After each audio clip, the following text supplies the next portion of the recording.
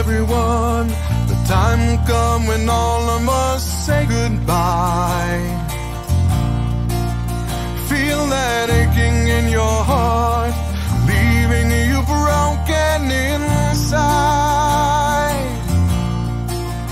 But we're never really gone, as long as there's a memory in your mind. So now go in